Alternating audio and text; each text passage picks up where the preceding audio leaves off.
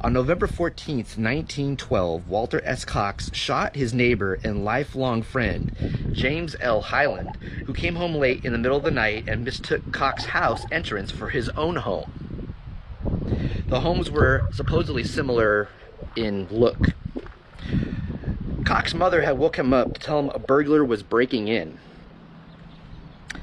Hyland broke the glass in the door to get at the latch to unlock the door, and that is when Cocks shot him with a rifle. James died on November 16, 1912, from his wounds.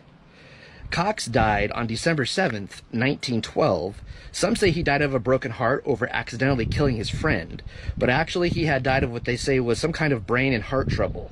And I'm sure the stress and guilt of what had happened didn't help his condition either. So, that's an interesting tale. And this is a closer look at it.